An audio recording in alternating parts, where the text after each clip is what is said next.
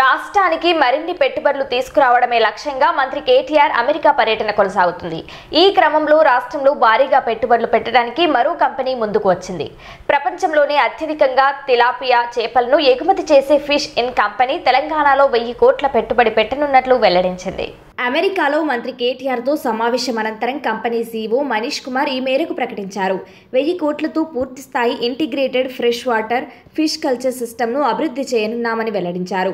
దీంతో ఐదు వేల మందికి ఉపాధి లభిస్తుందని చెప్పారు. రాజన్న సిరిసిల్ల జిల్లాలోని మిడ్ మానేరు రిజర్వాయర్ వద్ద ప్రపంచ స్థాయి ప్రమాణాలతో కంపెనీ కార్యకలాపాలను ప్రారంభిస్తామని మనీష్ కుమార్ తెలిపారు. చేపల ఉత్పత్తిలో హ్యాచరీలు దానా తయారీ కేజ్ కల్చర్ ఫిష్ ప్రాసెసింగ్ మరియు ఎగుమతుల వంటి అనేక విభాగాల్లో కార్యకలాపాలు కార్యకలాపాలు కొనసాగిస్తామన్నారు.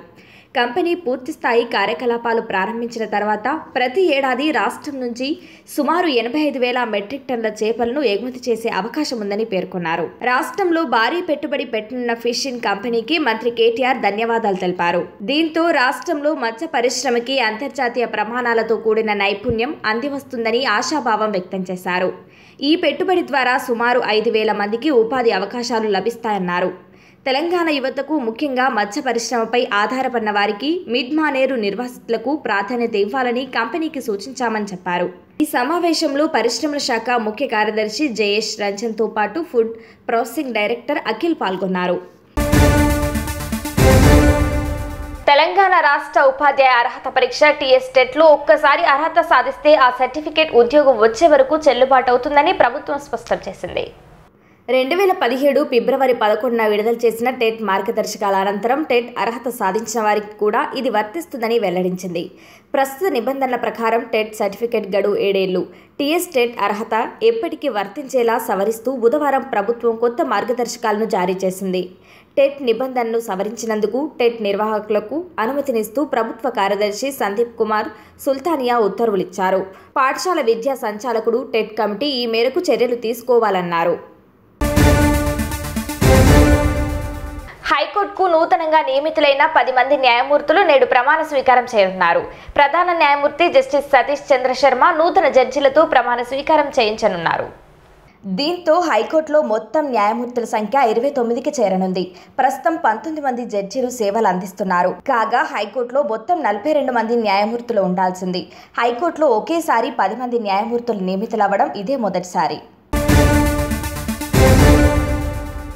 రాష్ట్రంలో ఎస్టీ రిజర్వేషన్ల పెంపుపై పార్లమెంట్లో కేంద్రం పచ్చి అబద్ధాలు చెప్పడం మీద టీఆర్ఎస్ ఎంపీలు బగ్గుమన్నారు విశ్వేశ్వర్ తుడుపై హక్కుల ఉల్లంఘన తీర్మానం నోటీస్ ఇచ్చారు. అనంతరం ఢిల్లీలోని తెలంగాణ భవన్లో టీఆర్ఎస్ పార్లమెంటరీ పార్టీ నేత కె. కేశవరావు లోక్సభాపక్ష నాయకుడు నామా నాగేశ్వరరావు ఎంపీలు వెంకటేష్ నేత పసునూరి దయాకర్ మన్నె శ్రీనివాసరెడ్డి బడుగుల లింగయ్య యాదవ్తో కలిసి మీడియాతో మాట్లాడుతూ తెలంగాణపై కేంద్రం కక్ష కట్టిందని ఆరోపించారు. Twenty one twenty three twenty twenty టూలో ఉత్తమ్ కుమార్ రెడ్డి గారు క్వశ్చన్ అడిగారు. వాళ్ళు చెప్పినట్టు. సో ఫస్ట్ పాయింట్ అంటే ఉత్తమ్ కుమార్ రెడ్డి ఒక క్వశ్చన్ ఏమిటంటే whether there is any proposal this a proposal from the government of Telangana to increase the reservation ఉందా లేదా? ప్రపోజల్ వచ్చిందా?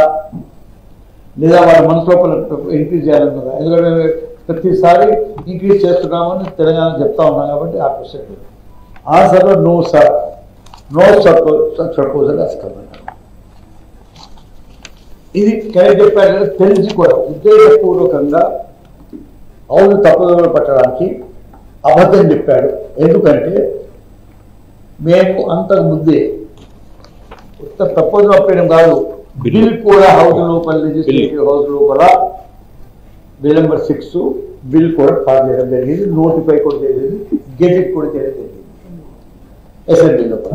చేసిన తర్వాత నాకు ఆటోమేటిక్గా ఇది go to the home ministry అంతెందుకు? ట్రైబల్ మినిస్టర్ చెప్పారు కాబట్టి ట్రైబల్ మినిస్టర్ గారు కూడా ఎయిటీన్త్ నాడు సెవెంటీన్త్ అన్నది నా దగ్గర లెటర్లో పంపి ఎయిటీన్త్ నాడు సెవెంటీన్త్ ఎయిటీన్త్ అయింది. ఎయిటీన్త్ ఎయిటీన్త్ నాడు మినిస్ట్రీ ఆఫ్ ట్రైబల్ అఫేర్స్ అని ఒక లెటర్ రాశాడు. వాళ్ళు హోమ్ మినిస్టర్ ఏమో హోమ్ మినిస్టర్కి రాస్తున్నారు ఏమని రాస్తున్నారు? ది అండర్ సైడ్ ఈ డిసైడెడ్ సైన్ అంటే deputy secretary government usually government is అప్పుడు deputy secretary. What that secretary to refer to the ministry of home affairs data number so date dated so of eighteen September on the above mention subject and to say that in so far as Ministry of Tribal Affairs is concerned, it is admitting, as far as the Ministry of Total Affairs, uh, Tribal Affairs Ministry is concerned, it supports the proposal contained in the bill. So there is a proposal, there is a bill, there is a content. మూడు ఉన్నాయి ఈ మూడింటిని కూడా వాళ్ళ approve చేస్తున్నాడు tribal ministry he's set the minister who said no such proposal came అన్నాడు.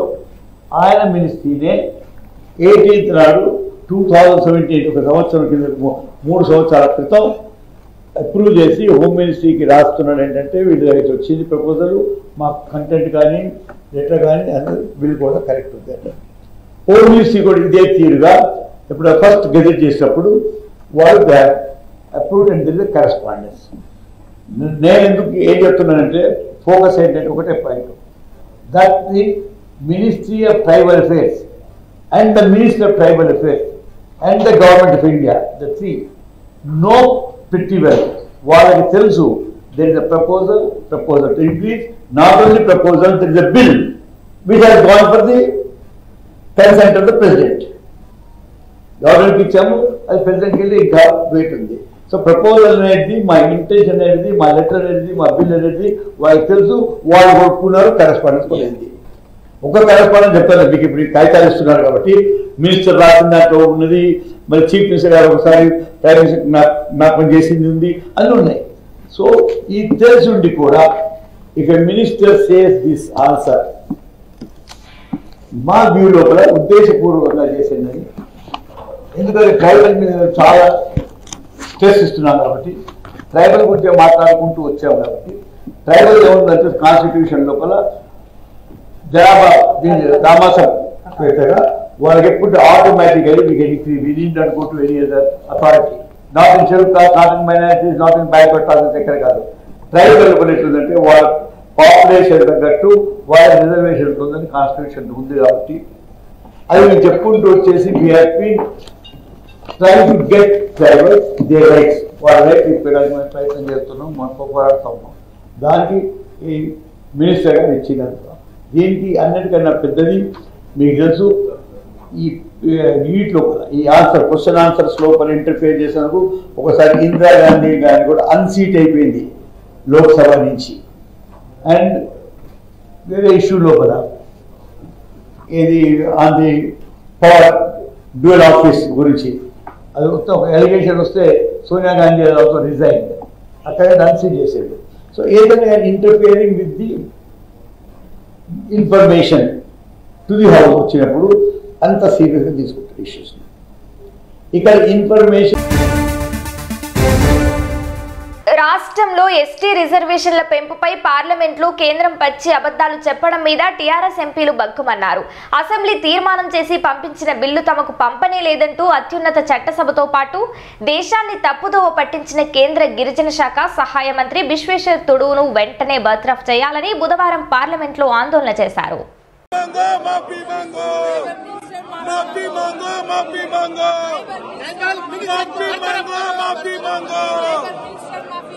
बढ़ा दो बढ़ा दो बढ़ा दो बढ़ा दो बढ़ा दो। बढ़ा दो बढ़ा दो बढ़ा दो बढ़ा दो बढ़ा दो रिजर्वेशन बढ़ा दो बरतरफ करो बरतरफ करो। बरतरफ करो बरतरफ करो। बरतरफ करो।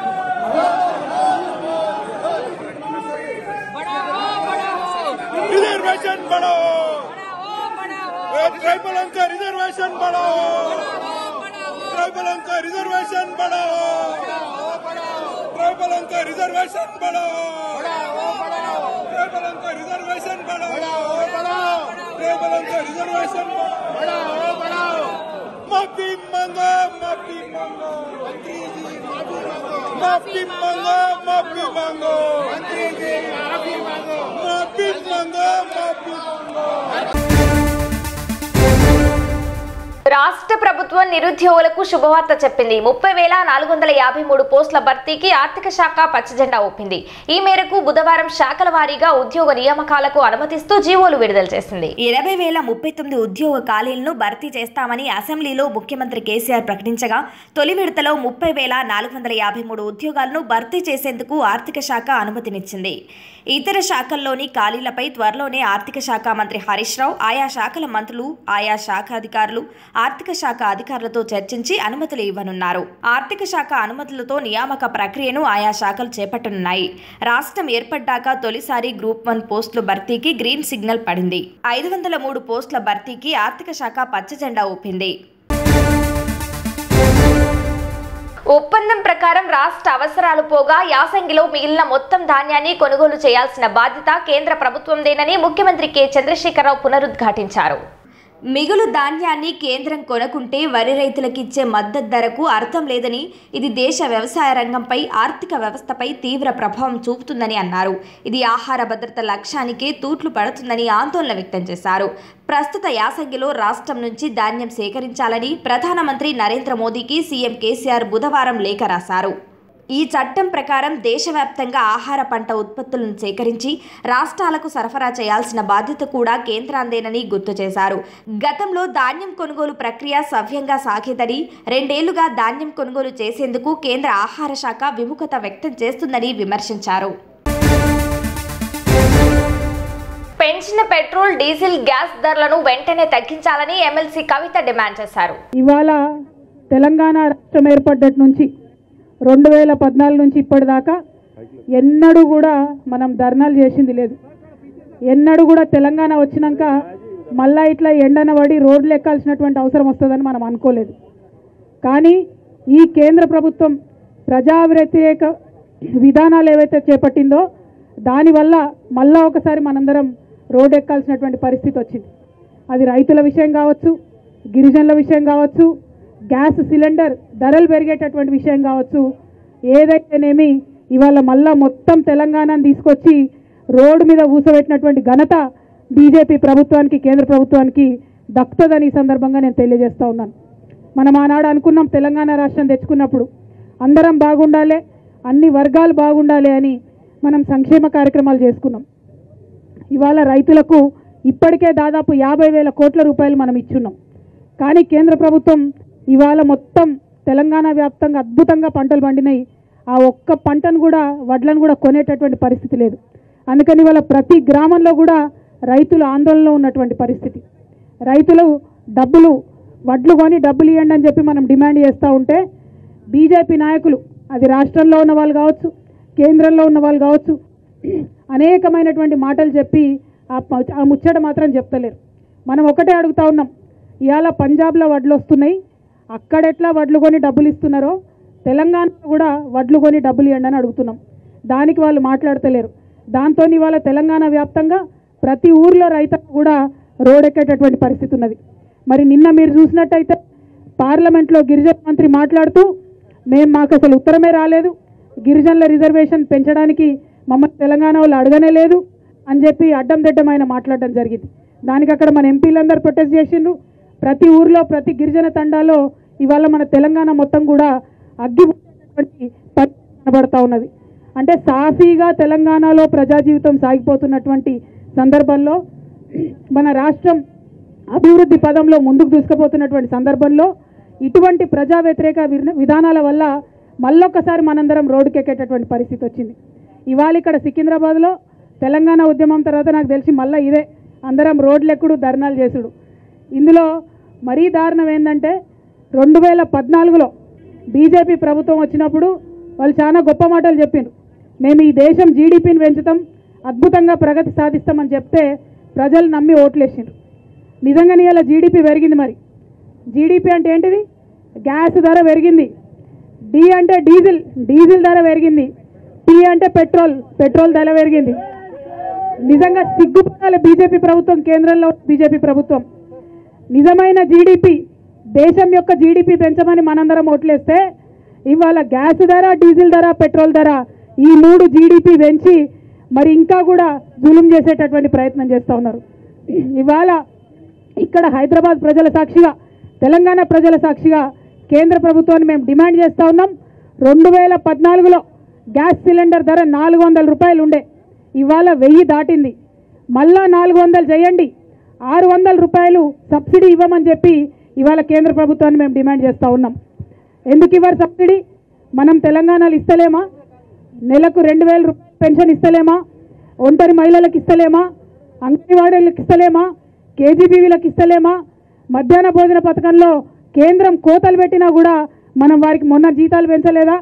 ఏ ఒక్క కార్యక్రమంలో కూడా ప్రజలకు డబ్బు ఇచ్చే విషయంలో వెనుకడిగే తప్ప ముందడిగి ఇవాళ బీజేపీ ప్రభుత్వంది లేదు. అందుకనే ఇవాళ ఈ ధర్నా సాక్షిగా డిమాండ్ చేస్తూ ఉన్నాం. పెంచినటువంటి గ్యాస్ సిలిండర్ ధరను వెయ్యి రూపాయల నుంచి ఖచ్చితంగా నాలుగు వందలకు తగ్గించాల్సిందే. ఆరు వందల రూపాయలు ఏదైతే డిఫరెన్స్ ఉన్నదో అది కేంద్ర ప్రభుత్వమే భరించాలని చెప్పి ఈ సందర్భంగా నేను డిమాండ్ చేస్తూ ఉన్నా. అయ్యా బండి సంజయ్ అన్న తెలంగాణ ఆడబిడ్డల తరఫున మీ అందరికీ మేము విజ్ఞప్తి చేస్తూ ఉన్నాం. మీరు మస్తు పెద్ద పెద్ద మాటలు మాట్లాడతారు. రకరకాల మాటలు మాట్లాడతారు. ఊ అంట అంటే వాళ్ళని జైల్లో పెడతా వీళ్ళని జైల్లో పెడతా అంటారు. మీకు కనుక నిజంగా ధైర్యం ఉంటే తెలంగాణ ఆడబిడ్డల పక్షాన నిలబడేటటువంటి వారు మీరైతే వెళ్ళి ఢిల్లీలో కొట్లాడండి. ఏదైతే నాలుగు వందలున్న సిలిండర్ వెయ్యికి చేసిండ్రో దాన్ని తగ్గించండి. ఆరు వందల రూపాయల సబ్సిడీ తెలంగాణకు ప్రత్యేక ప్యాకేజ్ కింద ఇప్పించండి అని చెప్పి నేను ఈ సందర్భంగా డిమాండ్ చేస్తా ఉన్నా. అదేవిధంగా మీరు చూసినట్టయితే పెట్రోల్ ధరలు రెండు వేల పద్నాలుగులో అరవై రూపాయలు ఉండే. ఇవాళ చూస్తే నూట తొమ్మిది రూపాయలకు వచ్చింది. ఆనాడు ఇంటర్నేషనల్ మార్కెట్లో క్రూడ్ ఆయిల్ రేట్ ఎక్కువ ఉన్నా కూడా పెట్రోల్ అరవై రూపాయలే ఉండే. ఇవాళ క్రూడ్ ఆయిల్ ధరలు తగ్గుతున్నాయి కానీ పెట్రోల్ ధర మాత్రం తగ్గుతలేదు. అంటే ఆ డిఫరెన్స్ ఏమవుతున్నది ఎందుకోసం పెరుగుతున్నది? ఇవాళ ఈ రాష్ట్ర యువత దయచేసి ఆలోచన చేయాలి. ఇవాళ మీ అందరికీ ఒక మాట మరీ ముఖ్యంగా తెలంగాణ యువమిత్రులు ఆలోచించాలి. ఈ భారతీయ జనతా పార్టీ ప్రభుత్వం బీజేపీ ప్రభుత్వం కేంద్రంలో వచ్చినప్పటి నుంచి ఇప్పటి వరకు ఓన్లీ ఆయిల్ సబ్సిడీల మీద పెట్రోల్ డీజిల్ గ్యాస్కి సంబంధించిన సబ్సిడీల మీద మనకు ప్రజలకు ఇవ్వకుండా కూడగట్టుకున్నటువంటి డబ్బు ఇరవై మూడు లక్షల కోట్ల రూపాయలు. మరి ఇరవై మూడు లక్షల కోట్ల రూపాయలు ఎక్కడికి పోయింది? తెలంగాణకు వచ్చిందా? తెలంగాణకు ప్రత్యేక ప్యాకేజ్ వచ్చిందా? తెలంగాణ అంగన్వాడీలకు వచ్చిందా? తెలంగాణ బిడ్డలకు పెన్షన్ వచ్చిందా? ఏమొచ్చింది? ఎక్కడికి పోయిందని ఆలోచన చేస్తే ఆరాధిస్తే తెలిసింది ఏంటంటే పదకొండు లక్షల కోట్ల రూపాయలు పెద్ద పెద్ద వ్యాపారవేత్తలు బ్యాంకులకు ఎగబెట్టినటువంటివి వాటిని మాఫీ చేసిరు తప్పితే పేద ప్రజలకు వీళ్ళు ఇవ్వలేదు. ఏదైతే డబ్బు మిగిల్చుకున్నారో ఏదైతే రేట్లు పెంచి మన పేద ప్రజల దగ్గర వసూలు చేస్తూ ఉన్నారో అది మొత్తం కూడా పెద్ద పెద్ద కంపెనీలకు ఇవాళ వాళ్ళు కట్టబెడుతున్నటువంటి పరిస్థితి. ఇది మనం చెప్తలేం. పార్లమెంట్ సాక్షిగా వాళ్ళే చెప్పిండ్రు. పదకొండు లక్షల కోట్ల రుణాలు మాఫీ చేసినామని చెప్పిండ్రు. మరి ఎవరికి ఇచ్చిండ్రు రుణమాఫీ చెప్పండి. మా డ్వాక్రా మహిళలు వాళ్ళ తెలంగాణ వ్యాప్తంగా ఉన్నారు. వాళ్ళు ఒక్క రూపాయి అప్పు తీసుకుంటే మొత్తానికి మొత్తం తిరిగి కడతారు. నైంటీ నైన్ పర్సెంట్ పేమెంట్ ఉంటుంది సెల్ఫ్ హెల్ప్ గ్రూప్స్లో. అదేవిధంగా మా రైతన్నలు తీసుకుంటే తొంభై తొమ్మిది శాతం పేమెంట్ ఉంటుంది వాళ్ళది. అంటే చిన్న చిన్న వాళ్ళకైతే మనకు రాలేదు సబ్సిడీ మరి. రుణమాఫీ మన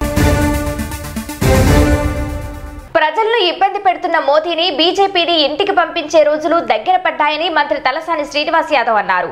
దేశం నుంచి తరిమి కొట్టే వరకు బీజేపీకి బుద్ధి రాదని ఆగ్రహం వ్యక్తం చేశారు. కార్పొరేటర్లకు మాజీ కార్పొరేటర్లకు జాగృతి మిత్రులకు సోదరి సోదరిమణులకు అందరికీ నమస్కారాలు. దేశ్కు బచావ్ అంటే నరేందర్ మోడీ గారు వచ్చి దేశ్కు పేచో అనేటువంటి కార్యక్రమాన్ని స్టార్ట్ చేసిండు. ఈరోజు ఈ దేశంలో జరుగుతున్నటువంటి పరిపాలన ఒక్కసారి మనం ఆలోచన చేస్తే నరేంద్ర మోదీ గారి తర్వాత ఈ దేశంలో ఆయన ప్రైమ్ మినిస్టర్ అయిన తర్వాత ఏ ఒక్క కార్యక్రమాన్ని ఈ దేశాన్ని అభివృద్ధి వైపు సంక్షేమం వైపు నిలిపిండో చెప్పవలసినటువంటి అవసరం ఉంది. ఆయన మాట్లాడితే ఎలక్షన్లలో తిరుగుకుంటూ ఎన్నో విషయాలు మాట్లాడుకుంటూ ఉంటాడు. కానీ ఏ రోజు కూడా ఈ దేశానికి చేసింది మరి ఏందో మనం ఒకసారి ఆలోచన చేయవలసినటువంటి అవసరం ఉన్నది. వంద సార్లు డీజిల్ పెట్రోల్ రేట్లు పెంచిండు. గ్యాస్ ధరలు పెంచిండు. దాని మీద ట్రాన్స్పోర్టేషన్ మీద పెద్ద ఎత్తున భారం పడడమే కాకుండా ఈరోజు గ్యాస్ ధరలు ఎనభై ఎనిమిది వందల రూపాయలు ఉంటే మరి ఈరోజు వెయ్యి రూపాయల వరకు రావడం అనేది చాలా బాధాకరమైనటువంటి అంశం. ఈరోజు గ్యాస్ మీద యాభై రూపాయలు పెంచాడు.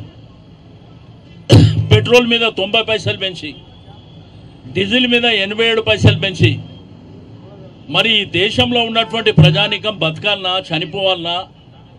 ఎందుకంటే పెరుగుతున్నటువంటి భారాన్ని భరించలేనటువంటి పరిస్థితి. ఒకవేళ డీజిల్ పెట్రోల్ గ్యాస్ ధరలు పెరిగితే ఆటోమేటిక్గా నిత్యావసర ధరలు కూడా మరి విపరీతంగా పెరిగేటువంటి అవకాశం ఉంది. మరి ఇప్పటికే బజార్లో ఏం కొనే పరిస్థితి లేదు. దీని మీద ఆలోచన చేసే శక్తి నరేంద్ర మోడీ గారికి లేదు. మొన్న ఐదు రాష్ట్రాల ఎన్నికలు జరగగానే మన ముఖ్యమంత్రి గారు ఆ రోజే చెప్పిండ్రు. ఎలక్షన్ అయిన వెను వెంటనే ఈ ధరలు పెంచుతారని చెప్పిండు మరి ఈరోజు చూస్తున్నాం. ఈరోజు పెరిగినటువంటి పెట్రోల్ డీజిల్ డీజిల్ ధరల్ని గ్యాస్ ధరల్ని చూస్తా ఉన్నాం. కానీ సామాన్య మానవుడు బతికే పరిస్థితులు లేరు. ఒక వైపున కరోనా వైరస్ వచ్చింది. రెండో వైపున ఓమిక్రాన్ వచ్చింది. దాన్ని తట్టుకోలేక ఈ దేశంలో నిరుద్యోగ సమస్య పెరిగిపోయింది. ఎక్కడ చూసినా కానీ నిరుద్యోగ సమస్య పెరిగింది. వ్యాపార రంగాలన్నీ దెబ్బతిన్నాయి. కానీ ప్రభుత్వం మాత్రం ఇబ్బడి ముబ్బడిగా ధరలు పెంచి ఈ రోజు నరేంద్ర మోడీ గారు ఈ దేశాన్ని నిలుస్తూ ఉంటాడు కానీ ఈరోజు దేశంలో ఉన్నటువంటి ప్రజానికానికి అర్థమైపోయింది. మరి తప్పకుండా ఈ దేశం నుంచి నరేంద్ర మోడీని బీజేపీని ఇంటికి పంపించే రోజులు కూడా ఆసన్నమైనాయని చెప్పి నేను ఈ సందర్భంగా తెలియజేస్తా ఉన్నాను.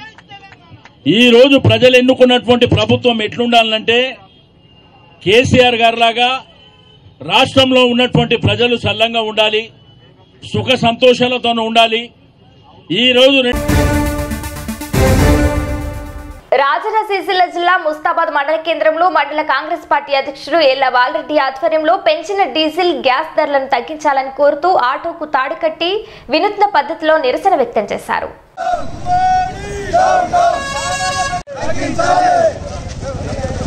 పెంచిన